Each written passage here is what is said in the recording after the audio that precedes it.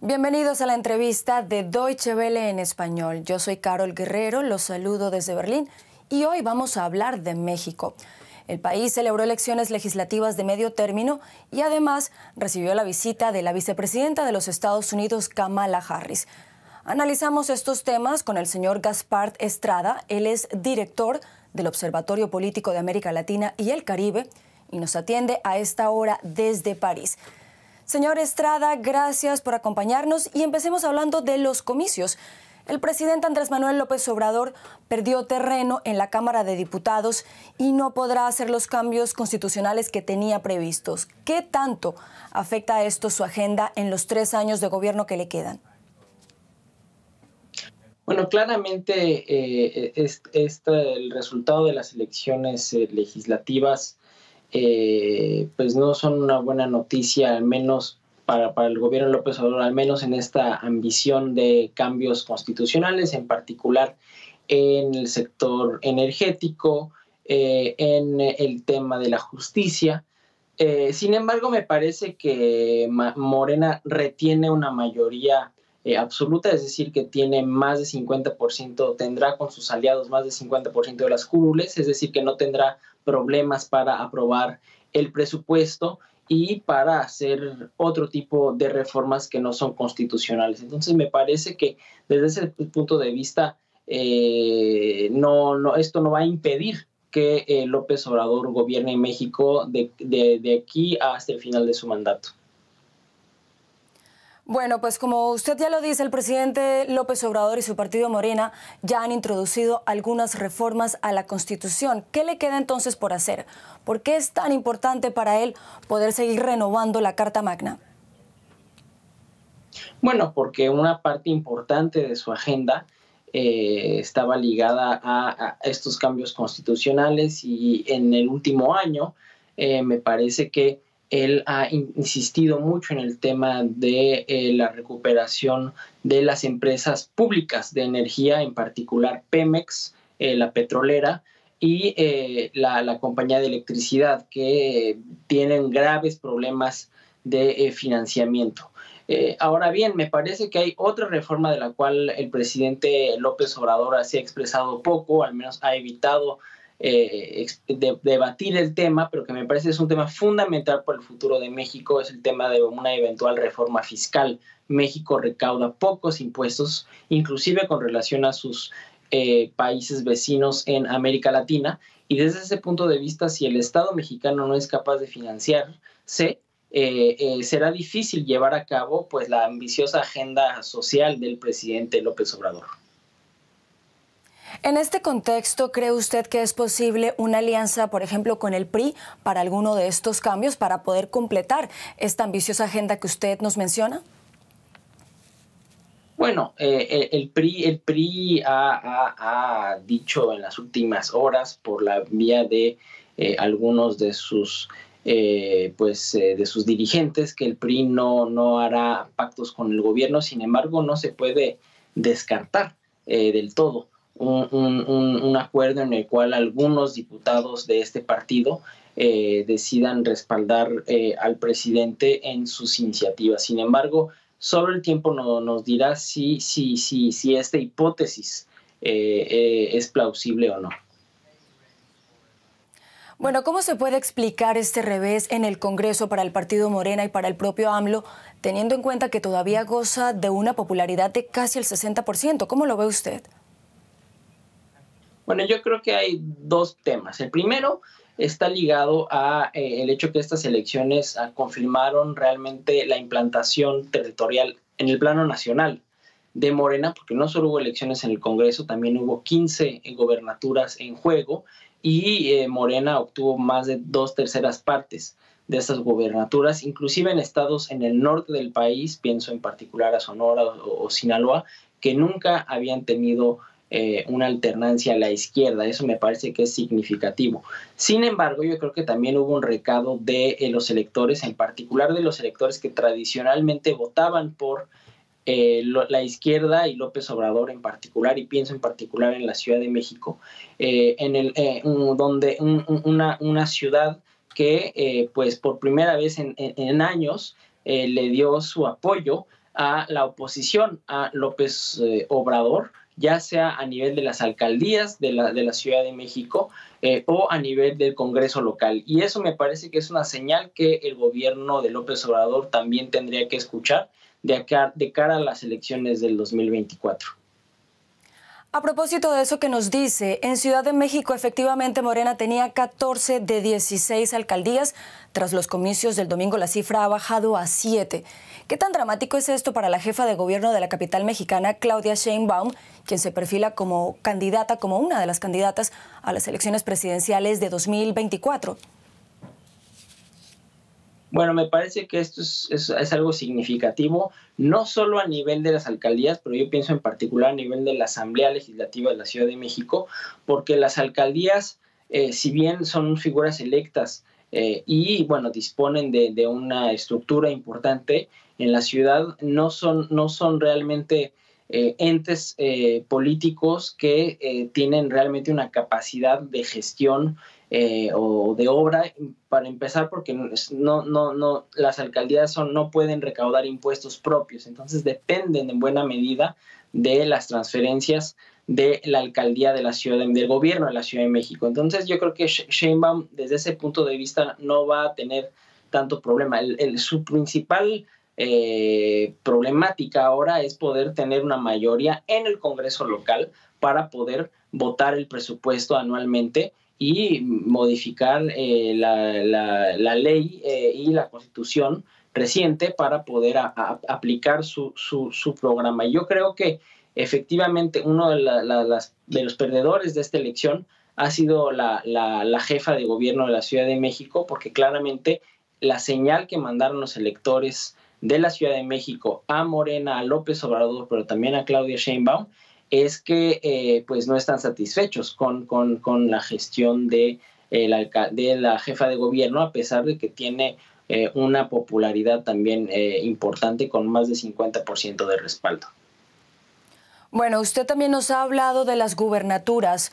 Morena se quedaría por lo menos con nueve de las 15 que estaban en juego, mientras que el tradicional partido PRI pierde ocho. ¿Qué pueden significar estos resultados de cara a los comicios presidenciales de 2024 y qué ha hecho Morena en los estados mejor que en el Congreso?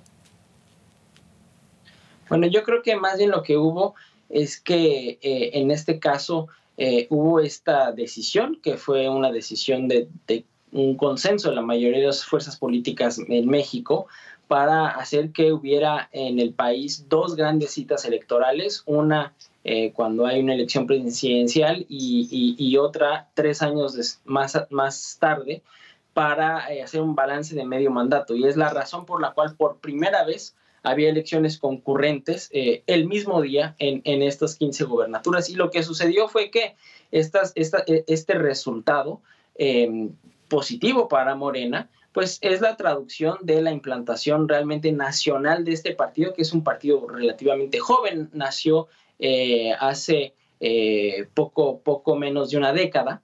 Eh, ahora bien, esto no, significa que, que, Morena tenga el, horizonte totalmente claro, porque, porque claramente la, la, oposición, si recupera un discurso, pues también ha mostrado durante esta elección que puede quitarle puntos a Morena eh, y en particular lo vimos en la elección eh, de diputados. Entonces, yo creo que esta elección más bien es el reflejo de esta nueva situación política en la cual Morena es la primera fuerza política nacional en México. Eso es, es una realidad que ya no se puede negar.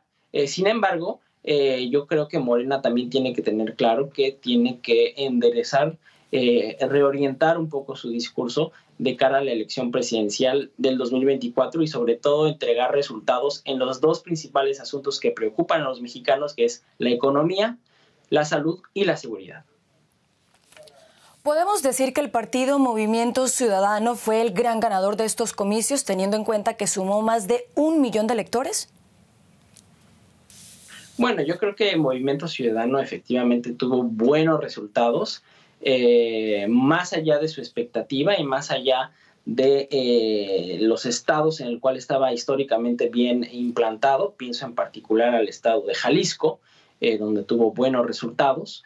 sin embargo, claro, la, gran sorpresa fue la, la, gobernatura de Nuevo León, la alcaldía de Monterrey, este, que eso pues era algo bastante inédito. Eh, de hecho, las encuestas eh, al principio de la campaña pues no, no mostraban para nada esta situación. Entonces, desde ese punto de vista sí es, es algo muy positivo para este partido. Ahora bien, hay que tener claro que que Movimiento Ciudadano sigue siendo un partido nacional, pero con una presencia esencialmente regional, no, no, no, no tiene una fuerza homogénea a nivel nacional. Entonces me parece que faltará, falta todavía bastante para que, para que Movimiento Ciudadano se transforme realmente en una alternativa de poder a nivel eh, nacional. Sin embargo, efectivamente sí es, fue un, hecho bastante eh, importante en esta jornada electoral.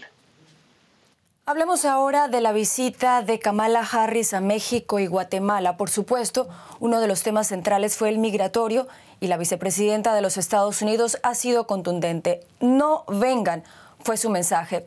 ¿Se puede hablar de un giro en la política migratoria de la administración Biden? Porque durante la campaña el lenguaje de los demócratas era menos crudo.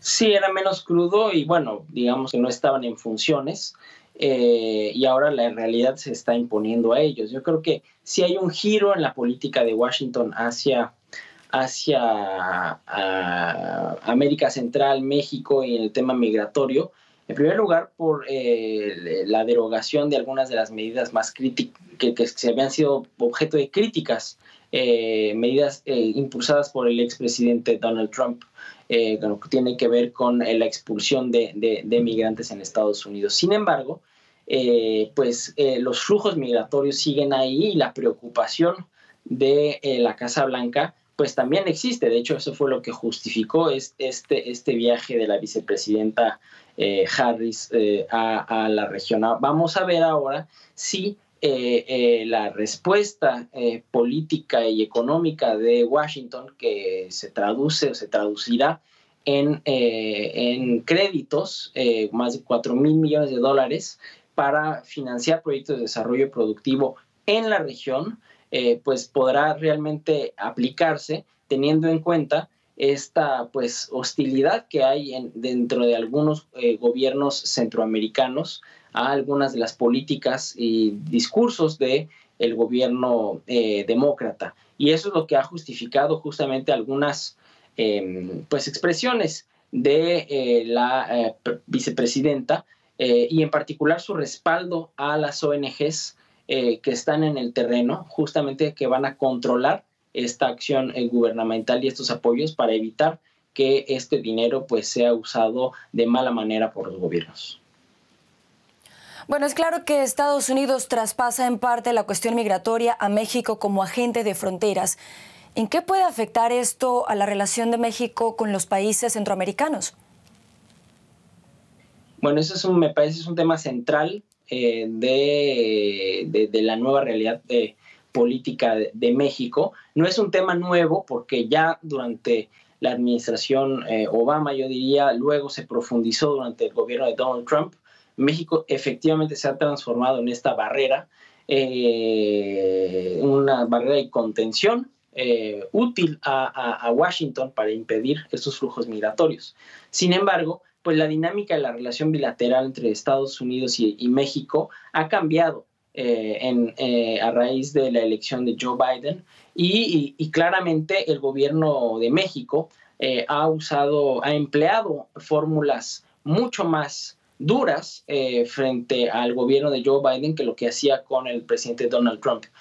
no sabemos todavía si esto va a tener una consecuencia en la degradación del diálogo eh, digamos, entre las, agencias. Eh, el objetivo de la visita de Kamala Harris justamente era eh, mandar una señal positiva en ese aspecto. Entonces hubo una serie de acuerdos que fueron firmados entre la vicepresidenta y el presidente de México. sin embargo, pues todavía no sabemos si en el plano más operacional esta, esta cooperación va a mantenerse a mediano eh, y largo plazo, en particular en el plano migratorio. Bueno, ¿y qué necesitan México y los países del Triángulo Norte para que sus ciudadanos quieran quedarse allí? Bueno, yo creo que desarrollo, desarrollo económico, desarrollo social, eh, cohesión social, más Estado. Eh, yo creo que eh, lo que está sucediendo en América Latina en general y en Centroamérica, en México en particular, es una necesidad de reencauzar el crecimiento económico, salir de esta crisis del COVID con pues más oportunidades. Y es en ese sentido que eh, el programa que, defiende Washington de desarrollo, eh, pues tiene, tiene, desde mi punto de vista, una cierta coherencia. Sin embargo, lo que hay que ver es cómo se van a aplicar estos recursos, porque no es la primera vez que Washington intenta eh, llevar a cabo programas de desarrollo económico en el Triángulo Norte. Ya durante el gobierno de Barack Obama, el BID había financiado un programa de Washington eh, en, este, en este aspecto y que eh, este programa pues fue un fracaso cuando lo vemos eh, con la distancia porque ese dinero pues fue muy poco a los ciudadanos y, mucho, y, en gran medida a grandes empresarios y también a políticos, infelizmente. Entonces, yo creo que ese es el punto central, es cómo se va a, operacionalizar, cómo se va a, traducir en actos concretos este, este plan de, de, desarrollo eh, financiado por, por Washington. Señor Gaspard Estrada, director del Observatorio Político de América Latina y el Caribe, muchas gracias por habernos acompañado. Gracias a usted y a su auditorio en América Latina.